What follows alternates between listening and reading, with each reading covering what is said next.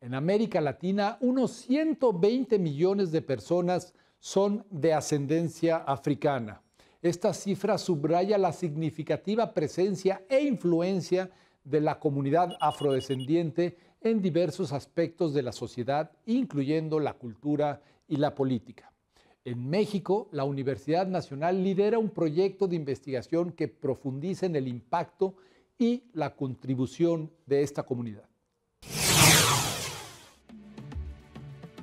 La importancia de la afrodescendencia radica en reconocer y valorar la contribución cultural africana a la diversidad global. Es por ello que la UNAM, a través del programa de estudios de Asia y África, se ha encargado de difundir información de la cultura de estos continentes, así como su relación con México. Además de realizar actividades que abarcan diversos temas como los prejuicios y los estereotipos hacia las comunidades afrodescendientes.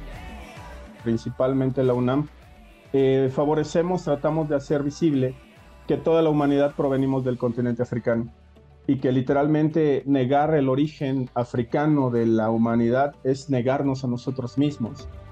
El PUEA se ha tomado gran iniciativa a la investigación no solo al tema general de la afrodescendencia, sino que aborda información sobre las comunidades afrodescendientes en México.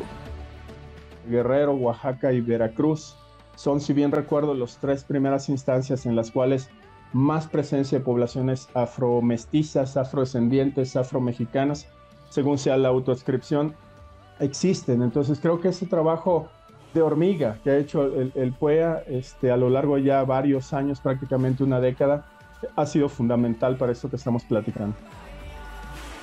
La UNAM, en colaboración con el PUEA, tienen como objetivo marcar un antes y un después en cómo los mexicanos vemos la afrodescendencia en el país. Para ello, el PUEA se ha centrado en la creación de foros, programas, seminarios, estudios e investigación sobre los pueblos afrodescendientes. Además, cuenta con diplomados con opción a titulación.